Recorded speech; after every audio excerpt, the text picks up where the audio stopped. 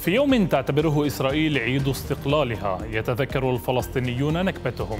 يتذكرون يوم اقتلعوا من أراضيهم وشردوا منها. يوم هبطت بيوتهم ومسحت قراهم عن بكرة أبيها وطمست آثارها ومعالمها.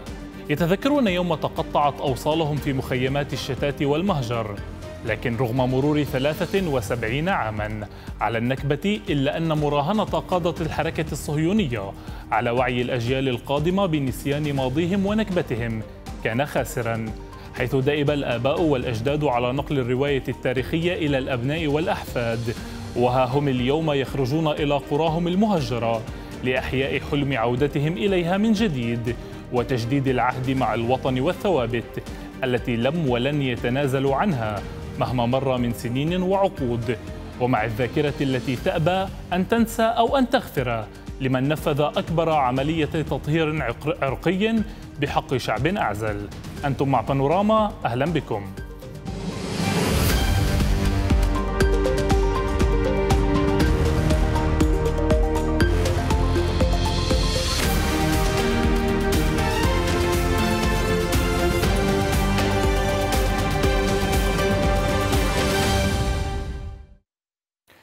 شارك عدد من الأهالي بمسيرات ولقاءات وفعاليات في قرى مهجرة بينها الدامون وحطين ومعلول وأم الزينات وصفوري والبصة واللجون. وقامت وقاموا بزيارات ونشاطات عدة ورفعوا العلم الفلسطيني وسط إسماع النشيد الوطني الفلسطيني مؤكدين أن يوم استقلالهم هو يوم نكبتنا. ومع تنظيم مسيرة العودة السنوية رقميا وعبر شبكات التواصل الاجتماعي شاركت جموع كبيرة من المهجرين والنشطاء الوطنيين والسياسيين في عدد من المسيرات المحلية واللقاءات في عدد من القرى المهجرة ومنها قرية الدامون وحطين المهجرتين وتلبية لدعوة لجنة أهالي حطين وناشطات وناشطون من أجل العودة في ذكرى النكبة الثالثة والسبعين شارك عدد من مهجري حطين والعديد من الناشطين السياسيين في لقاء على أرض حطين. وأحيت جمعية الدفاع عن حقوق المهجرين مسيرة العودة الرابعة والعشرين رقميا بمشاركة عدد من الشخصيات الوطنية والسياسية. حالت الظروف هذا العام دون إقامة مسيرة العودة الرابعة والعشرين بشكلها المعهود مما اضطر جمعية الدفاع عن حقوق المهجرين إلى إقامتها عبر وسائل التواصل الاجتماعي وبطريقة رقمية إلا أن ذلك لم يثني آلاف المهجرين على امتداد البلاد من زيارة قراهم التي هجروا منها لتعزيز الذاكرة الجماعية وتأكيدا على حقهم ومطلبهم العادل والذي كفلته كافة المواثيق الدولية بالعودة إليها. اهويك يا عمتي. والله وانت أشوف العرب كلها هون. هون العرب بس العرب هون. لا عودة عن حق العودة. يستعيد الشعب الفلسطيني ذكرى نكبته في كل عام ليشارك مهجرو الداخل إلى جانب نشطاء سياسيين ووطنيين في مسيرات للتأكيد على حق العودة والتمسك بأراضيهم مهما طال الزمن واختلفت الظروف. شارك شاهدو عيان على النكبة في حطين في رفع شعارات العودة وضمن فقرات ثقافية وفنية. وصاروا يجروا وياخذوهم بعد 100 متر وصفوا البني آدمين يطخوها. أشكيهن لله. أشكيهن لله. اختيت اللي موتوهن. أشكيهن لله. ما بشكيهن لحدا. إلا لله. إن شاء الله بيرجعوا وبيستدوا. إن شاء الله بيرجعوا وبيستدوا. يا رب. على بطلب من رب العالمين ما يموتنيش. اخرب أخرب أربع خمس أربع خمس سنين بس. تاني بلكي شفت فلسطين محررة. بلكي شفت فلسطين تتحرر وأنا طيبة. يا ربي يا حبيبي يا الله اسمع كلامي. طبعا كل أرضي بعرفها وكل بس يا للأسف ما أقدرش أفوت لها. أرضي بعرفها وداري بع... وين كانت دارنا بعرفها والشوارع كلها بعرفها. بس الأيام انقلبت وراحت علينا. نعم. مشتاق لأرضك؟ كثير يا ريت يا ريت يا ريت. حلم هذا يا عمي حلم. نتمنى يوم من الأيام إنه نرجع على هالبلاد. كانت بلاد حطين بلد خيرات بلد حي. فيها مي فيها في ذاك الوقت فيها بساتين خضرة فواكه. كل الناس عندها ويأخذوا البساتين الخضرة والفواكه تبعهم وردوها على الحسبة في طبرية. طبرية كان فيها حسبة. طبرية تبعد عن حطين تسعة كيلومتر. يعني كانوا الناس كل يوم ينزلوا على طبرية يروحوا طبرية يبيعوا خضريات والفواكه اللي عندهم ويرجعوا على حطين. تستعيد حطين اليوم مشهد الحياة فيها من جديد بعد أن تم تهجير أهلها. ليتم تعليق صور المهجرين من حطين عام 48 في مبادرة دعا لها أهالي القرية تأكيدا على حق العودة. في اليوم الذي تحتفل فيه إسرائيل بما يسمى باستقلالها. النكبة بالنسبة لشعبنا الفلسطيني ليست حدث الماضي وحسب وإنما هي أسئلة المستقبل المفتوحة على مصاريعها. النكبة هو سؤال الدولة الفلسطينية النكبة هو سؤال حقوق الشعب الفلسطيني حقوق اللاجئين حقوق المهاجرين. النكبة هو سؤال المساواة هو سؤال الاعتراف بنا الاعتراف بتاريخنا بجذورنا بروايتنا المساواة القومية العميقة. النكبة هي أسئلة المستقبل المفتوح على مصاريعها وواجبنا نحن بهذا النضال بهذه الأجيال الناشئة أن نعطي الجواب العادل لهذه الأسئلة. عشان نحيي ذكرى يوم الأرض. وكثير أطفال اللي ماتوا والنساء والرجال. وإحنا كل سنة بنيجي لهون عشان نحيا ذكراهن وإنه إحنا مستمرين ومنناضل إنه هذا الوطن وطننا ومنتخلاش عنه.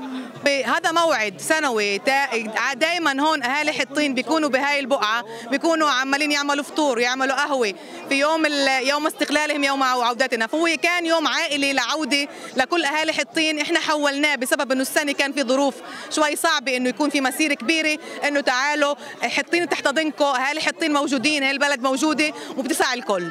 ما زالت إسرائيل تسعى في مصادرة أراضي الفلسطينيين وسلب حقوقهم لتزداد هذه الوحشية يوما بعد يوم.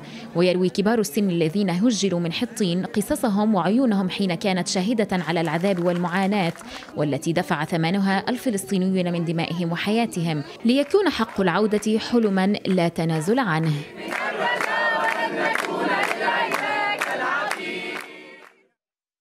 وحول مسيرة العودة وفعاليات إحياء ذكرى النكبة ينضم إلينا هنا في الاستوديو المهندس سليمان فحوامي وهو مهجر من أم الزينات وعضو هيئة الإدارة في جمعية المهجرين. أهلا بك سيد سليمان. معنا أولا يعني ما تعليقك على هذه المشاهد التي رأيناها من قرية حطين؟ يعني قرية حطين وكل القرى الفلسطينية مشاهد تثلج الصدر وهذا ما كنا نتوقعه من أهلنا المهجرين في قراهم أن يعودوا إلى قراهم وأن يتعرفوا على القرى وأن يزوروا قراهم التي دمرت وهجرت عام 48 يعني هذا هذا عمل كبير. وأيضا أقول ويعني بكل اعتزاز هذا كان برنامج جمعية الدفاع عن حقوق المهجرين. أن نرسخ الذاكرة أن نرسخ الوعي أن نعطي لأطفالنا وأشبالنا الصغار أن نحملهم الراية والرسالة أن لكم أرض ولكم بيت ولكم قرية هجرتم منها وهذا اليوم نؤكد على حق العودة في زيارتنا للقرى. وكما شاهدنا حطين اليوم هي مثال من عدة أمثلة لقرى قامت في مسيرات عودة داخل القرية وزيارة القرية مع أهلها وأيضا مع ضيوف من خارج القرية. نعم أنتم في جمعية المهجرين كل عام اعتدتم أن يعني تدعو الجماهير العربية للقدوم إلى إحدى القرى المهجرة وإقامة مسيرة العودة على أرض إحدى القرى. هذه السنة حالت الظروف دون إقامة مسيرة يعني على أرض الواقع وإنما بشكل رقمي. ولكن كان هناك إضافة نوعية لربما لإقامة المسيرة بشكل يعني عبر وسائل التواصل الاجتماعي وبشكل رقمي. حدثنا عن هذه الإضافة. نعم يعني هذه السنة الثانية نقيم المسيرة الرقمية للأسباب والأوضاع وجائحة الكورونا وكل ما يتعلق في ذلك ومن منطلق يعني نقولها بكل صراحة من منطلق الحفاظ على صحة أهلنا وأولادنا وأطفالنا وأيضا الظروف الصعبة والتوقيت كان التوقيت صعب يعني مدة 20 يوم تحضر لمسيرة صعب جدا ولكن المسيرة الرقمية أو المنصة الزوم التي أتيحت لنا هذا العام وبتخطيط خططناه الهدف منها أيضا هو إعطاء المجال لأهلنا بالشتات في لبنان في سوريا في النرويج في كل مكان أن نتواصل مع بعض أن نلتحم مع بعض أن نلتحم حتى لو بالصورة والصوت. يعني نؤكد والترابط وعملية الترابط والتواصل هي تقوي وتثبت المطالبة بحق العودة أيضا مهم جدا يعني تقوية العلاقات مع لاجئي المهجر لاجئي حطين مع حطين هنا بالداخل لاجئي لوبيا مع لوبيا هنا بالداخل لاجئي السندياني كما آه، أيضا حضر أخ من السندياني. نعم. ومن عكا كل كل هؤلاء اللاجئين يعني اليوم هم فرحين جدا. وأنا يعني استقبلت عدة مكالمات تليفونية. يا ريت لو كل سنة تعملوا لنا شيء من هالنوع خلينا نسمعكم ونسمع صوتكم ونسمعكم أوجاعنا وآلامنا. نعم وأنا أود أن أتحدث عن هذا الدور. بالتحديد دورنا نحن كعرب فلسطينيين في الداخل. يعني إذا أننا لربما حلقة الوصل الوحيدة بيننا وبين يعني اللاجئين في الشتات. ما هو دور العرب الفلسطينيين في الداخل في يعني نقل لربما صورة القرى المهجرة لمن لا يستطيع القدوم إليها وزيارتها؟ يعني نحن نقول أتيحت لنا الفرصة أن نبقى هنا على أرضنا وفرصة ثمينة وهذه الفرصة يجب أن نستغلها ونكرسها لصالح قضية حق العودة. أن نعطي الأمل الكبير لأهلنا بالخارج نحن هنا باقون نحن هنا نعمل من أجل حق العودة ونحافظ على الهوية والانتماء والراية الفلسطينية. ونؤكد هذا يعني بزيارتنا للقرى والمسيرات وكل الأنشطة التي تتمحور في قضية العودة. هذا يعطي أهلنا في الشتات في كل مكان الأمل الكبير. يعني أنا أذكر مقولة للمرحوم ياسر عرفات حيث قال يوما أنتم الضوء في نهاية النفق.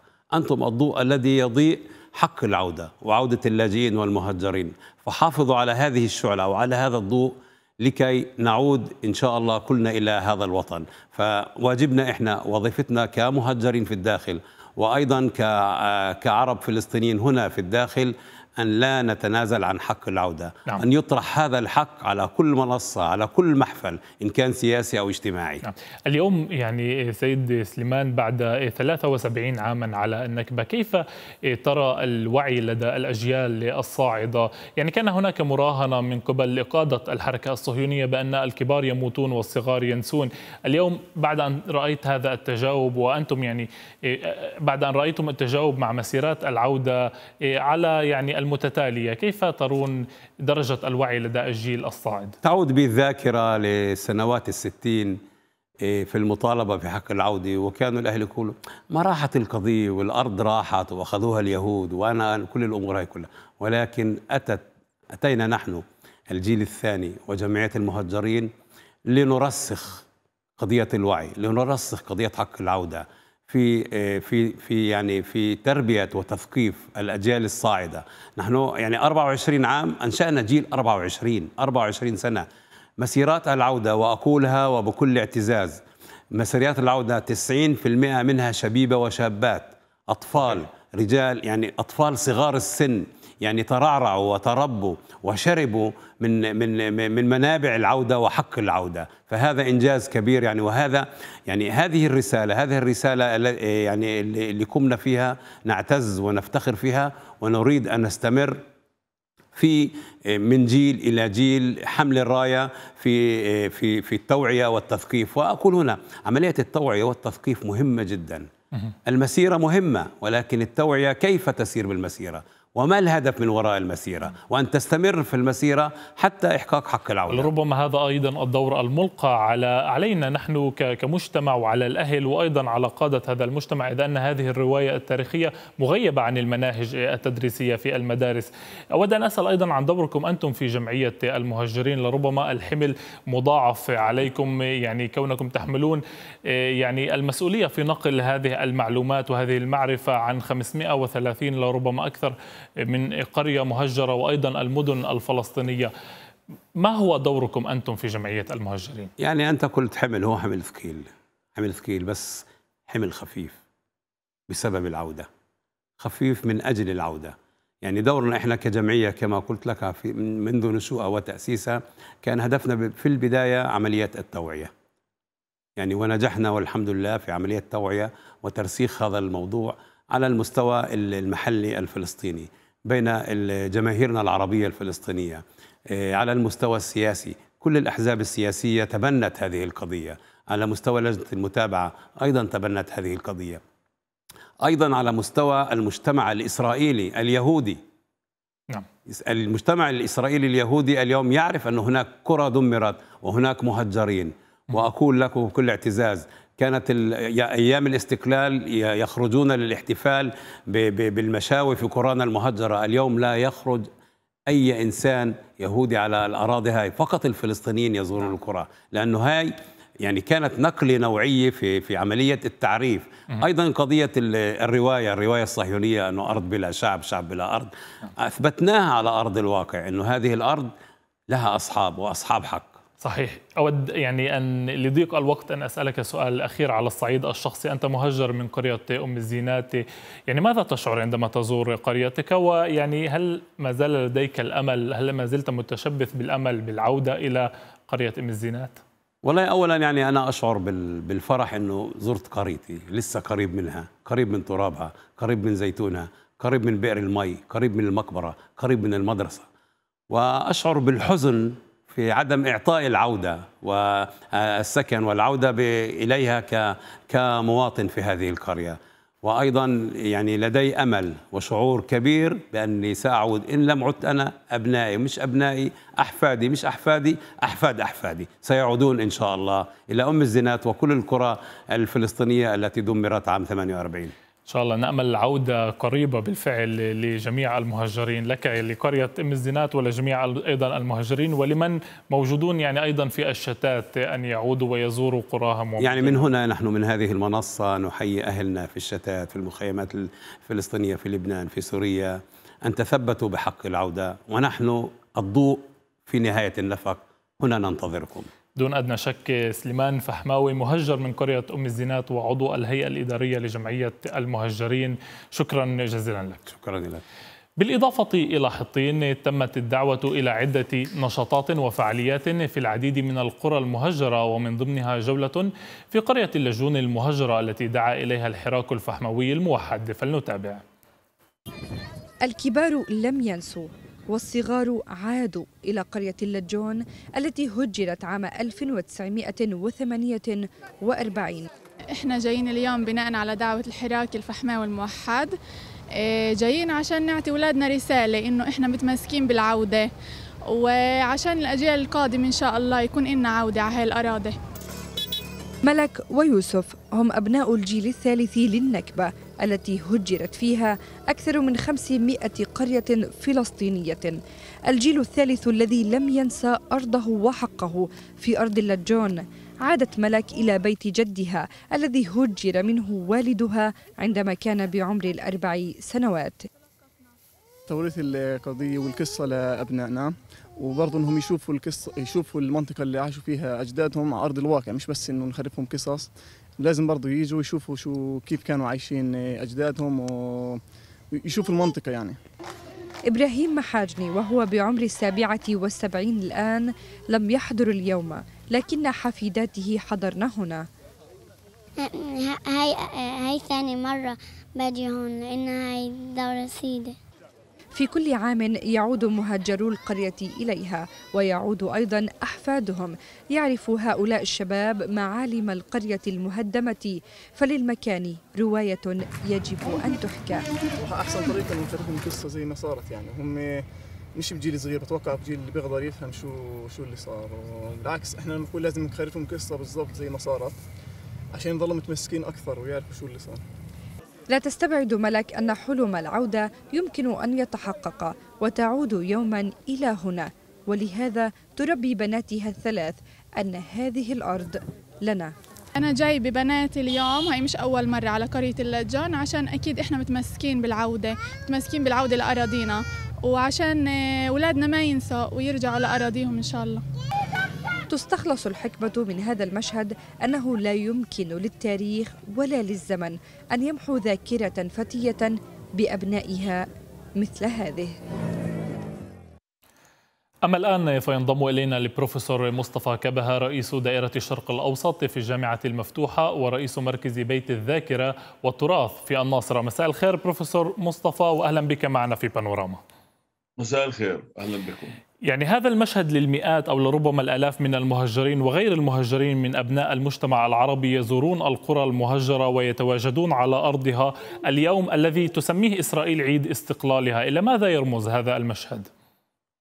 اولا هذه مبادرات مباركة حبذا لو كانت قد توجت بمسيرة حاشدة كما كان الحال في السنوات السابقة أعتقد أنه كان هناك إمكانية لأن تكون مسيرة كهذه وفي هذا الظرف بالذات مسيرة حاشدة موحدة يمكن أن ترمز للتمسك بالأرض والتمسك أيضا بالوحدة التي يعني نفتقدها الآن ليس سرا والمظاهر الوحدوية هذه المسيرات يمكن أن توحد وأن تؤكد على القواسم المشتركة التي يجب تغليبها والتي هي ليست بحاجة لشرح. فهي واضحة وهي راسخة ويجب العمل على ترسيخها أكثر. ليس فقط مرة في السنة وليس فقط من خلال الطقوس التي تقام في هذا اليوم بالذات ولكن من خلال عمل تثقيفي عميق. يمكن أن يكون بديلا عن ذلك التغيير لقضية التهجير وقضية القرى المهجره وقضية جغرافيا فلسطين وتاريخ فلسطين من المناهج الدراسية نعم ويعني هل باستطاعتنا الادعاء أو القول بعد مرور 73 عاما على النكبة بأننا نعرف كل التفاصيل حول ما حدث أم ما زلنا بعيدين عن هذه النقطة؟ يعني من المبالغة القول بأننا نعرف كل ما حدث. نحن بحاجة إلى بناء قصة سردية كاملة ومتكاملة وهي لم لم لم تبنى بعد بكاملها لأن لكل مكان قصة ولكل يعني ذرة تراب وقطعة أرض قصة. يجب الجمع بين هذه القصص وتوليفها في قصة سردية كاملة ومتكاملة. للأسف الشديد نشهد الكثير من محاولات غير جادة عابثة يمكن أن تؤثر وتشوه هذه الذاكرة. يعني لا يكفي فقط التغني بضرورة الحفاظ على الذاكرة وترسيخها وتقويتها وإنما يجب العمل على أن يكون عمل صياغة الذاكرة عملا مهنيا يرتقي إلى عمق هذا الحدث المهول. ويرتقي إلى عمق الحلم وقضية الإصرار والتأكيد على حق العودة لكل من هجر من بيته ومن قريته. نعم بروفيسور مصطفى هل ما زلنا نعيش تبعات النكبة أو نعيش لربما نكبات متتالية؟ هناك من يقول فلنكف عن الحديث عن الماضي ودعنا ننظر إلى المستقبل. يعني وأيضا يعني نسمع هذه بعض هذه الأصوات داخل مجتمعنا. ولكن ما أهمية معرفة يعني ما حصل في النكبة ومعرفة ماضينا وتاريخنا لكي يعني ننظر إلى المستقبل؟ لا يمكن أن نفهم النكبة إلا من خلال معرفتنا الكاملة لكافه تفاصيل ما حصل، هذه اولا. ثانيا لا يستطيع الإنسان أن يعيش بمعزل عن ماضيه. ويجب أن يكون هذا الماضي واضحا للأجيال القادمة وكي يتم استقاء العبر وتعلم الدروس المستفادة. هذا لا يمنع من أن أن نواجه تحديات الحاضر ونخطط للمستقبل بشكل لا نمكن فيه تكرار هذا الحدث كما كان. هذا هو المهم. النكبة ارتداداتها وارتجاجاتها ما زالت مستمرة. عمليات التهجير لم تتوقف. كانت هناك قرى قد هجرت في 2007 و2015 نرى قرى تهدم المرة والأخرى في النقب. محاولات المصادرة مستمرة. التفكير بزيادة الأرض على والتي يتم تواجد العرب عليها ومصادرتها هو تفكير استراتيجي يتم العمل عليه بشكل دؤوب ودائم ويجب صحيح. مجابهته فهذه الأمور يعني نعم. لا يجب أن لا تقتنص وتقتص من قضية ضرورة معرفة الماضي وضرورة العمل على استقرائه واستحضاره ومعرفة كافة تفاصيله بمهنية ودقة وعلمية. نعم ولنتحدث عن الوعي لدى الاجيال الصاعدة لربما إذ يعني راهن قادة الحركة الصهيونية على ذاكرة الشعب الفلسطيني وهناك المقولة الشهيرة لجولدا مئير الكبار يموتون والصغار ينسون. إذا نظرنا إلى المشهد السياسي العام والمجتمع العربي بشكل خاص وبقراءة لربما لنتائج الانتخابات الإسرائيلية، هل تخشى من أن أن شرائح في مجتمعنا بدأت تنسى ماضيها وتتنكر لهويتها؟ لا يعني قضية الربط لا أعتقد بأنه آه، نحن نعيش حالة حالة من التشرذم حالة صعبة آه، في كافة أماكن تواجد الشعب الفلسطيني. ويجب أن نقول ذلك. القضية الثانية قضية آه، الحفاظ على الذاكرة. لا تنتظر الانتخابات الإسرائيلية كي تثبت بأن هناك عملية تراجع مستمرة في معرفة التفاصيل والاقتراب آه، من الثوابت والاحتفاظ بها آه، واصلا يعني تعريف الثوابت أيضا. نحن بحاجة إلى تعريفها مجددا والتأكيد عليها وتثبيتها. آه، الاجتهادات هنا هذه أمور غير قابلة للاجتهادات. هناك اجتهادات فيها فذلكه وفيها يعني عملية تحايل على آه، الواقع الأمور شاخصة منتصبة ليست بحاجة إلى اجتهادات. هناك شعب كان يعيش امنا مطمئنا في بلده وابتلي هذا الابتلاء.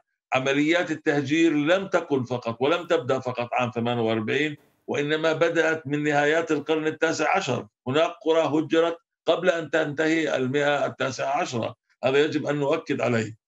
وعشرات القرى هجرت قبل عام 48 وكذلك الأمر بعد 48 فلهذا نعم. السبب النقطة النكبة هي نقطة هائلة مهولة جرى قبلها تهجير وجرى بعدها تهجير وقضية الصراع على الأرض بدأت من الربع الأخير من القرن التاسع عشر وما زالت مستمرة حتى نعم. يومنا نعم يعني سؤال أخير ما هي التحديات التي تواجهنا كجماهير عربية على صعيد حفظ الرواية التاريخية ونقلها للأجيال الصاعدة في ظل مناهج تدريسية يتم تغييب إيه، هذه الرواية منها إيه، كليا يعني كيف يمكن التغلب على هذه التحديات؟ التحديات بدأت وقلت يمكن التغلب عليها من خلال تأكيد المشترك واحترام المختلف عليه وقضية صياغة سردية واحدة ليست سرديات فئوية ولا فصائلية ولا حزبية. والأهم من ذلك كله تهيئة كوادر من مصممي الذاكرة مهنيين يستطيعون أن يتحملوا هذا العبء. ليس من المفروض أن يعني أن, أن, أن يقوم بهذا العبء أناس غير مهنيين ومن فقط يروق لهم ذلك وإنما آه، بحاجة إلى تأهيل كوادر تستطيع أن تحمل هذا العبء وتنهض به وتصوغ رواية سردية قصة سردية واحدة متفق عليها يمكن التعاطف معها ويمكن أن يشعر كل فلسطيني بالانتماء لها. نعم بروفيسور مصطفى كبهة رئيس دائرة الشرق الأوسط في الجامعة المفتوحة ورئيس مركز بيت الذاكرة والتراث في الناصرة. شكرا جزيلا لك. وبهذا أعزائي المشاهدين نصل إلى ختام جولتنا البانورامية التي خصصناها لتغطية مسيرة العودة الرابعة والعشرين في يعني اليوم الذي تعتبره إسرائيل يوم استقلالها وتحت عنوان يوم استقلالهم يوم نكبتنا. إلى اللقاء.